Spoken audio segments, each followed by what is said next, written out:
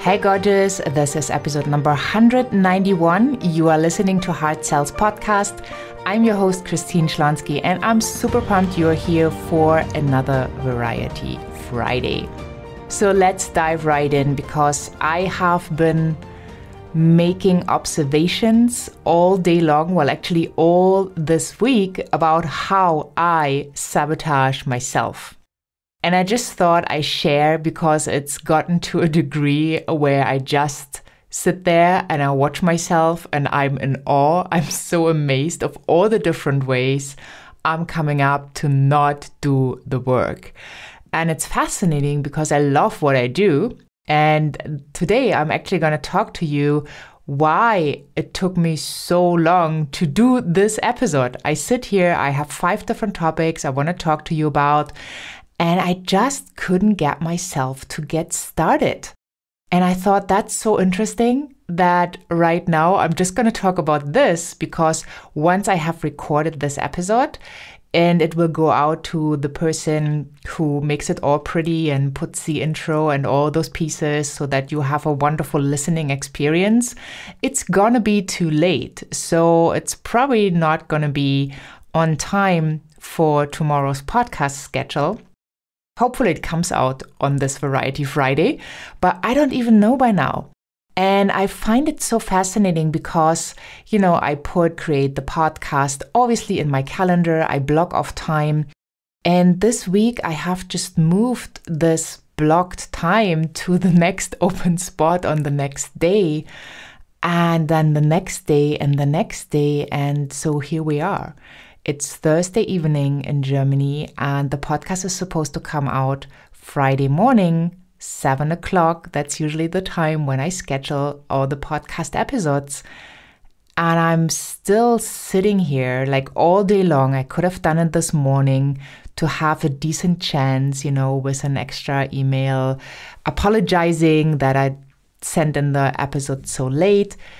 But I just didn't do anything. And you know, I had a couple meals extra or a couple snacks extra that I usually wouldn't have. I had uh, chocolates today that I usually, well, wouldn't have, not in this form and quantity. And it's just, I'm just sitting here and I'm amazed. So I did all different kind of things today, just not recording as I required from myself. And maybe you can relate. Maybe you have those days where you really don't get stuff done and you know you have it on your list.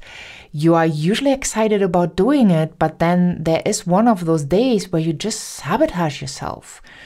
And this is one of those days. I just finished a call with my mom because I felt I have to call her. I haven't called for a long time. Then I had to go uh, back to the kitchen to get myself another glass of water. And then I had to go because I wanted another piece of chocolate. so I'm like, you know, going into my office, going out of my office like all day long, and I wasn't really productive in terms of the podcast. So I just thought instead of covering other topics that I have planned, I just thought I'd do this for you because I know that everybody gets stuck at some point. And no matter where you are in your journey, how successful you are, you probably have those days. And, you know, sometimes it's not a day, it's like half a day, or maybe it's just an hour and then you get over it. But, you know, I observed myself for the whole week. And I noticed that I, you know, obviously when I talked to clients, I delivered and I was spot on. But with all the kind of more flexible things in my calendar, this week was pretty difficult. And, you know, if staff was not, did not have a designated time in my calendar, I just kept moving it. And even with a podcast production, just recording this episode, I kept moving it. And I, I don't really know why, to be completely transparent and honest. I just couldn't get myself to do it.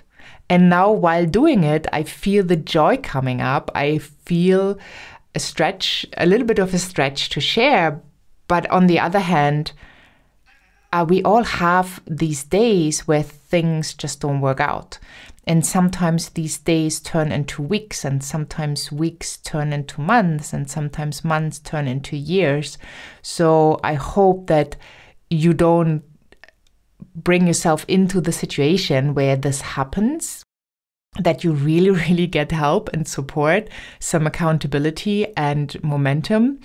And while I share the story with you, it's kind of ironic because I have a new laser coaching program where people coach with me for 15 minutes.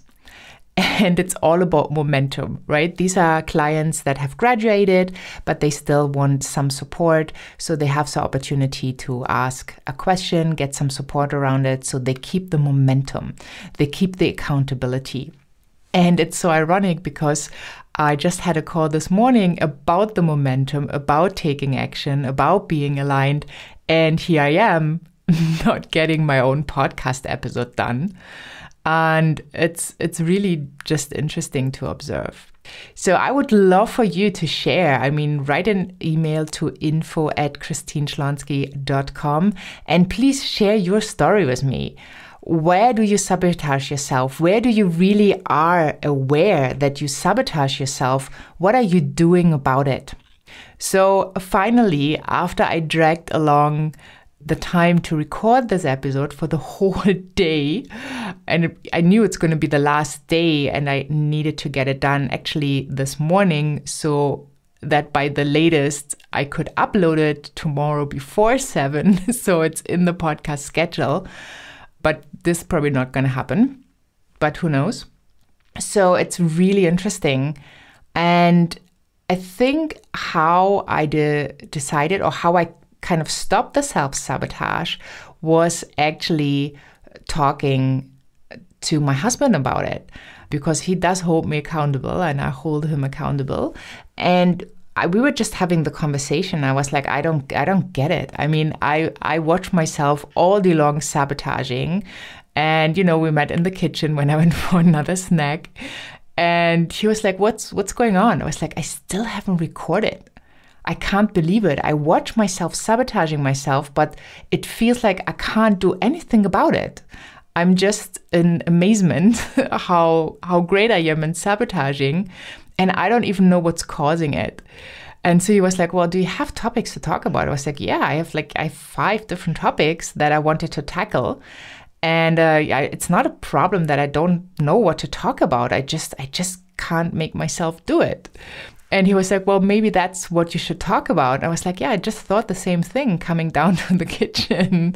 I thought, Why don't I share the struggle that so many people have? And we probably don't talk about it. So we think we are all by ourselves, but we're not.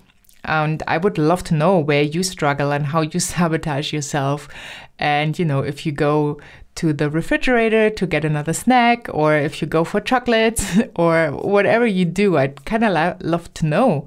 And then also, I would love to know how do you get yourself out of this funk? And the intention is to kind of collect your stories so I can do a podcast episode just with ideas and tips how to get yourself out of it. So for me today, it kind of started with just thinking, well, you know, whatever, I'm just gonna share with my audience what's happening and how I feel. I'm quite sure they feel the same. And then talking to my husband kind of helped to sit down and put it into action right away because otherwise I might have taken another half an hour, who knows. And it's so fascinating. And yeah, I would love to know where do you sabotage yourself? Or do you have a certain pattern? And I find it quite ironic because this week's in this week's episode shared with Aaron File, it was so funny because we talked about the belief system. We talked about unlocking your power in episode 189, and we talked about are your beliefs true in one in episode 190. And it's all about the belief system, about the mindset. And here I am sabotaging. And I know we all have that. I I know my friends have it. I know my family members have it. And I, I know you have it.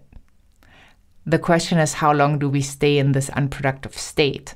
How long do we allow ourselves to deal with indecision, right? How long do we stay in this place? And also, how do we evaluate if if it's really what we love to do or maybe if something needs to change. And just by recording it right now, I know I love to do it because the wonderful feeling is back. And I know oftentimes that when I really don't feel like it and I can get myself to get started, it becomes so much easier. So here's another tip I want to throw in. Because if you are cold calling people, for example, or do you you want to cold call people you probably sabotage yourself as well. Because picking up the phone to call a stranger is no matter where you are on your journey probably daunting. And you know sometimes it's just a little come on let's do it kind of thing. And sometimes it's a huge thing and so many people sabotage themselves they do a call and when the call goes well, they might do another one and they might do another one. So maybe they get up to five calls and then they just feel so exhausted that they need a break. And if those five calls weren't good, they just form the belief that it's not working. And then to get yourself back into the game is like this huge thing. So I always had a look when that happened to me when I was still my corporate job, where, you know, I was cold calling more or less every single day, I was always in the place to get that momentum after the fifth or the sixth call. Right? I had to push myself a couple times. Not every day, but some days, especially those the day I'm describing to you right now. And then you just let it flow. You just allow it to be, no matter what the outcome. You just dial the number, you kind of make a game out of it. You dial the number, you check in, and um, you know, back back in corporate, it was always we had to get to the decision maker. That meant the CEO, the general manager, the owner of the company. So all these people had assistants, right? And they were prepared to block you to only get the important calls through. So there was no easy way to just dial a number and get to the person. You had to do the detour in 99.9%. So, you know, just being open to whatever happens with the conversation with the assistant and just keep dialing numbers helps because then at some point, maybe after your fifth number, maybe after your 10th number, you will get through. And then, you know, if it works out, you will have an amazing conversation, and that's going to give you so much energy and will help you through the next conversations. And that's what I love about sales that you can turn it around every single moment because with the next conversation, you never know what you're going to get. It might be awesome, might be your next client, and it could also be like that somebody just hangs up on you. You never know. But the more you put in, the more you get out. And I think that's what I want to leave you with that if you self sabotage, it's okay. That's human. Just make sure that a day doesn't turn into a week, and the week doesn't turn into a month, and the month doesn't turn into a year, and the year doesn't turn into years. Because that's lost, right? So you want to make sure that when you notice, as soon as you notice yourself sabotaging, observe, maybe take notes, ask yourself questions. Why is this more important to me? Why, for example, is it more important to me to have an extra snack right now, even though I'm not really super hungry, uh, than recording the podcast episode? Why is it more important to me right now to call my mom than to record a podcast episode? Why is it more important to me than checking my emails that are not urgent right now than recording the podcast episode? And it's interesting to see what happens and what kind of answers you get. And maybe you don't even get an answer. Maybe you just have to decide to take action to get over it. Right? And once you're over it, you get that momentum so right now, everything's good. I'm probably going to record the next episode for next Variety Friday because I do have my topics that I want to share with you. But I thought it's important to have the conversation about sabotage because, as an entrepreneur, if you don't have an accountability partner or a coach that you check in with regularly, that could be an issue that could turn out into a long term struggle. So make sure you have someone in place that you can share with, that you can share ideas with, that you really can get inspired by and get that momentum to put yourself into the game, right? Only when you are in the game, you can play the game. Just watching the game is not that much fun, right? So thank you so much for tuning in. Thank you so much for sharing, for listening, to my share and for your shares, hopefully via email. I would love to read about your story at info at christineschlonski.com. So thank you so much. Have a wonderful day. Don't self sabotage. Remember, stop just dreaming, act now. And I can't wait for you to tune in to the next episode. Thank you so much. Have a wonderful day wherever you are in this beautiful world and I'm saying bye for now.